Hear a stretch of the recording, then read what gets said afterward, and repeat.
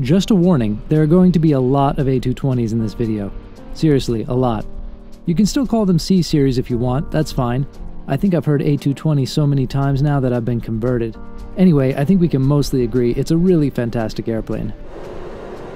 So, good morning from Riga. Or should I say Innsbruck? Once in a while, I get invited to fly a simulator and it is so much fun. This is Air Baltic's A220 simulator at their training facility just next to Riga International. But as far as this system is concerned, we are currently taking off from the rather short runway at Innsbruck in Austria. Pushing it right to the limit.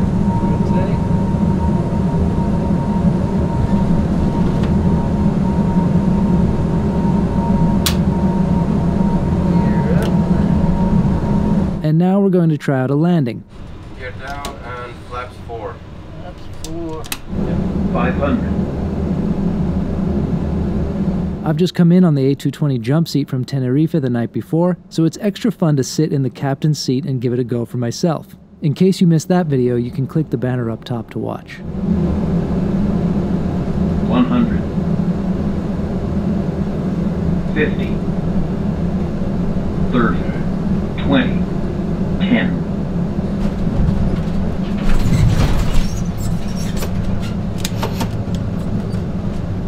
Luckily, I didn't have any passengers because that felt as if it might have upset a few of them. But hey, I got the plane on the ground. Looks like we are safe. A little bit of weaving on the runway made the passengers ill, but not so bad for a first time flying Yeah, of A220, course, right? Yeah, yeah. Well, it looked like it was First time definitely said. This is actually very easy. It is actually. It's easy to fly this this uh, airplane, even with the engine out. I mean, you don't even feel that. Awesome. Okay, cool. Thanks so much.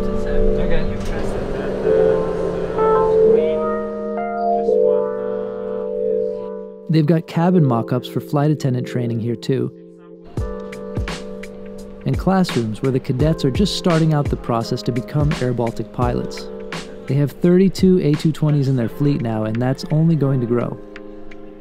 I pay a visit to the operations center, and as I've found with several other airlines, Flight Radar 24 is an integral part of what they do. That's always fun to see. It seems that it's it's ready for taxi, so we are on time. Everything is good.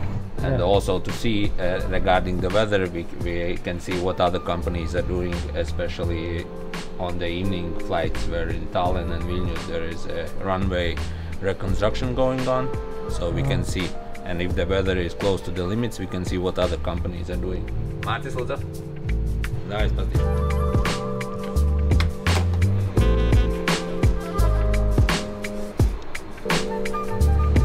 It's quite a nice and compact HQ they have here. On my visit, it's still pretty empty because of a number of people working from home. But why don't we get out there and check out some real planes?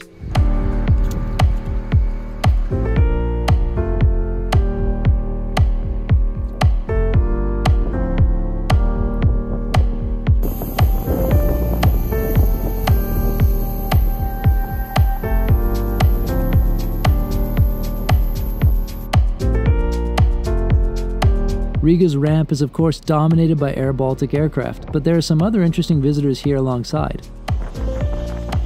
Like this Aviastar Tu-204 cargo plane, for example.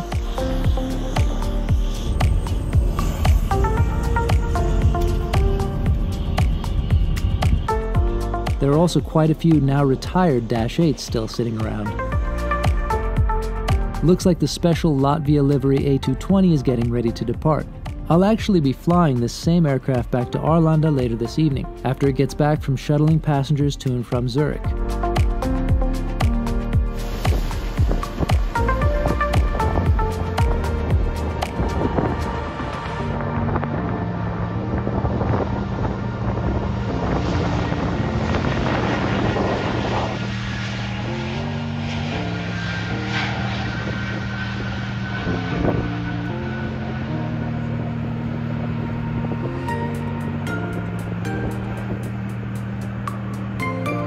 Here's a 737 cargo plane operated by Atran Airways, part of Russia's Volga Dnepr group, and it's registered in Bermuda.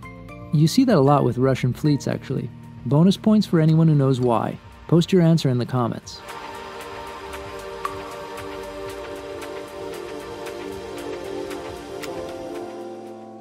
And now, please enjoy a little driving ramp tour airside at Riga International.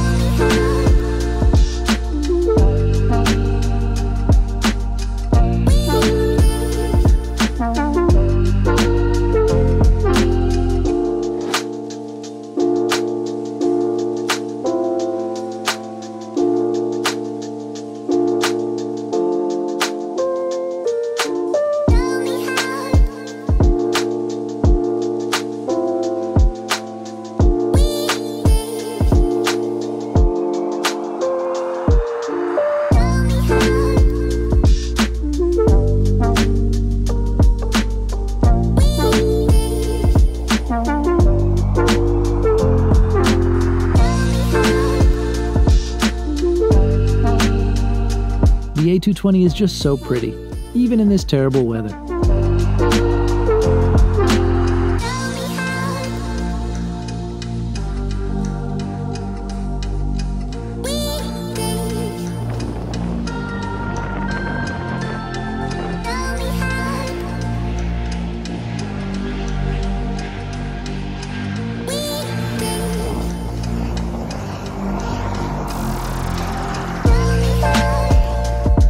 Here's Gatis Stanga, AirBaltic senior cabin crew, to show us around the plane.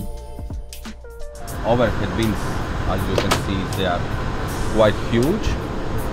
And uh, even with full aircraft, we have never issue with bags. So all passengers have space for their bags. And uh, under the seat, it's very rare case when they need to put something.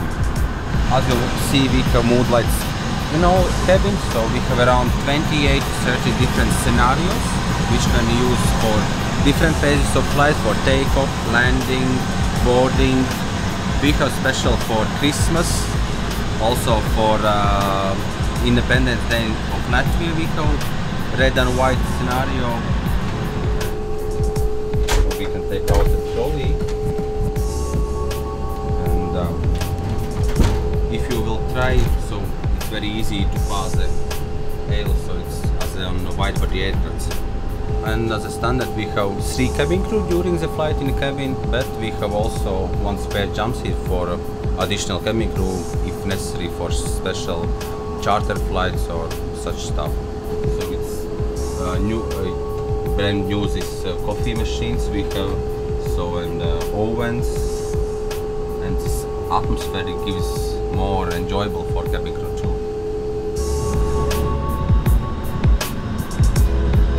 And here are a few thoughts from AirBaltic CEO Martin Gauss. I should note that this was recorded in late October last year, but while there have been some pandemic curveballs since then, his points still stand.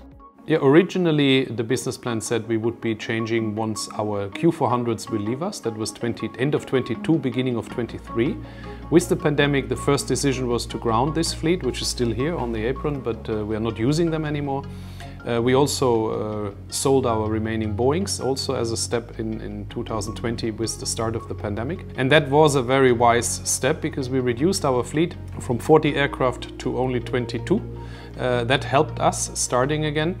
Now we're at 32 aircraft, but same fleet, so we retrained all the personnel, we simplified all the processes, so better product for the customer, but also for us, um, a better product because much easier to handle and all the positive effects now coming uh, months by month stronger uh, because we only focus on that one aircraft type. So it has been a has been a good decision to bring it forward uh, and everyone's happier with that decision. I was always optimistic, it was just a crisis. I said that from the beginning, uh, I never thought that this just would be so long, uh, but it is a crisis and it is not an, a new status quo. So we will have a change to the current situation, but it was a, a very heavy crisis. We have gone through this difficult time, we are here, we get good uh, feedback from the market of what we're doing. And um, coming out of this final part of the crisis or pandemic, um, we will see that we will have it much easier in the future to grow further than it was before this crisis because a very united uh, team with a very efficient aircraft which can for many years be a, a backbone of what Air Baltic does.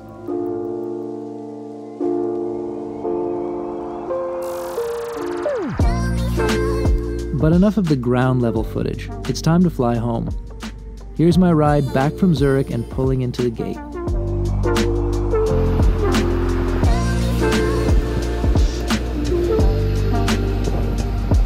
And I'm back up here in the front row left hand side, which if you watched the previous video you'll already know is the place to be.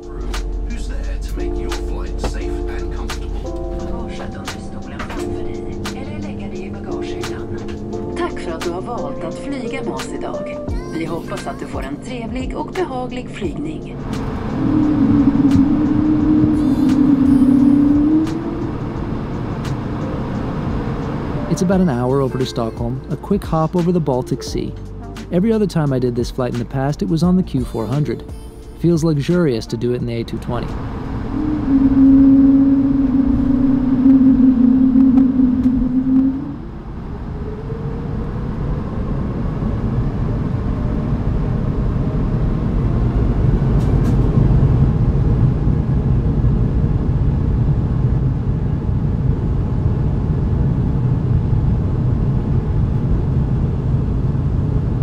I always love how picking up speed on the runway clears the water off the windows, improving the view. And I also love how when taking off at this time on a cloudy day, altitude will buy you a little bonus daylight.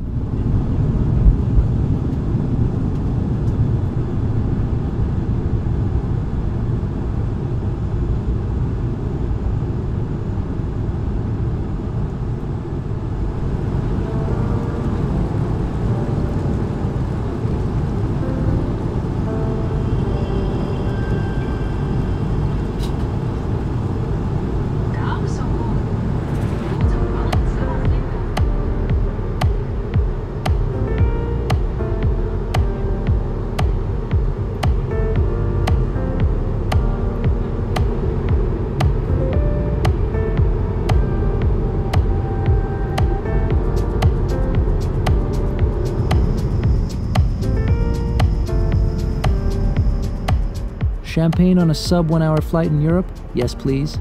Though with these bumps, let's see how much I end up spilling.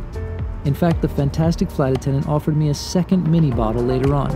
Completely unnecessary, but much appreciated. Of course, I said yes. And there was a nice light meal. Again, a very pleasant surprise on such a short flight.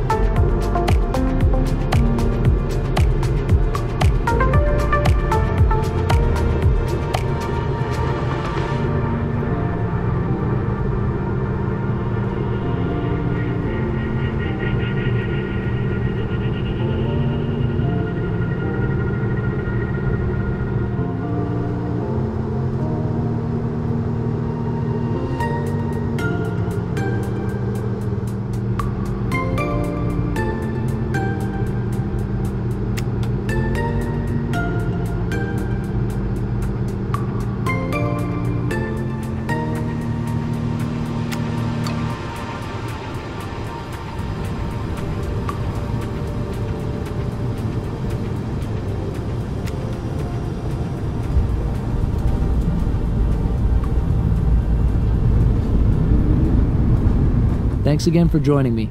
Hope to see you back here next week for more fun with airplanes.